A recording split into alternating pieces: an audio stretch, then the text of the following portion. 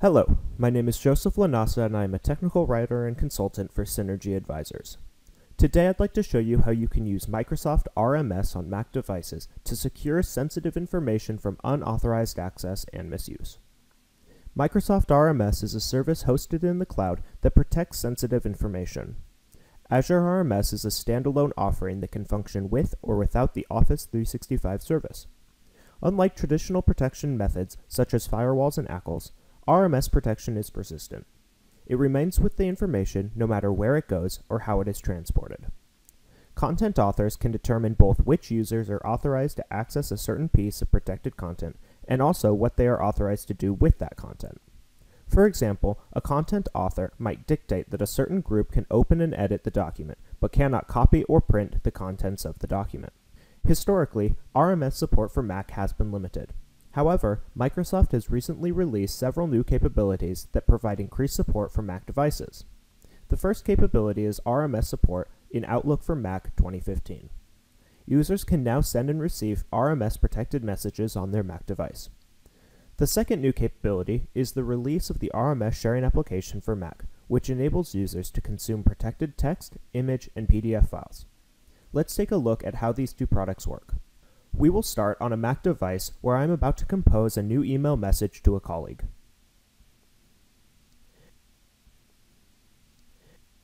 I will protect the message using an RMS template in my organization. I will send the message to my colleague who also happens to be using a Mac.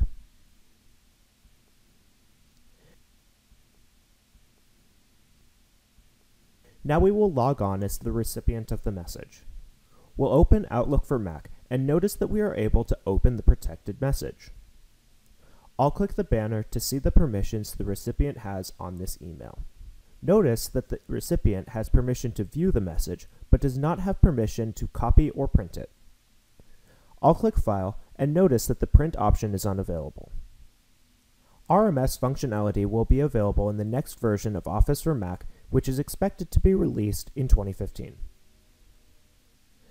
Now let's take a look at the RMS sharing application for Mac. This release supports the ability to consume protected documents such as protected PDFs, ptext, and image file formats. In the near future, you will also be able to protect sensitive files using the RMS sharing application. Let's take a look at the process of consuming a protected file with the RMS sharing application. I'll navigate to a folder where I have stored several files that have already been protected with RMS. Protected PDF text, and image files change format to ppdf, ptext, and in this case, pgif files. Notice that we are able to open these files on the Mac through the RMS sharing application. Protected Office files will open in the next version of Office for Mac. All other file types are encrypted in the pfile format, which provides wrapper-based encryption to control initial access and expiration. Authorized users can unwrap the pfile and then render the content in the native application, where no granular level permissions are enforced. Unauthorized users are unable to access content in a pfile. I've just shown you how you can use RMS in Mac devices to create and consume protected email messages and to consume files protected with the RMS sharing application. For more information about Microsoft's rights management services, please see our other videos at youtube.com slash synergyadvisors. Synergy Advisors designs and deploys RMS architectures for enterprise-level customers.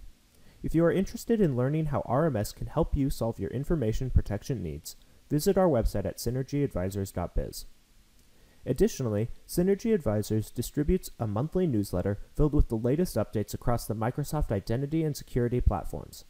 If you would like to sign up to receive this newsletter or have additional questions on the topics presented in this video, please email us at askipteam at synergyadvisors.biz. Thank you for watching.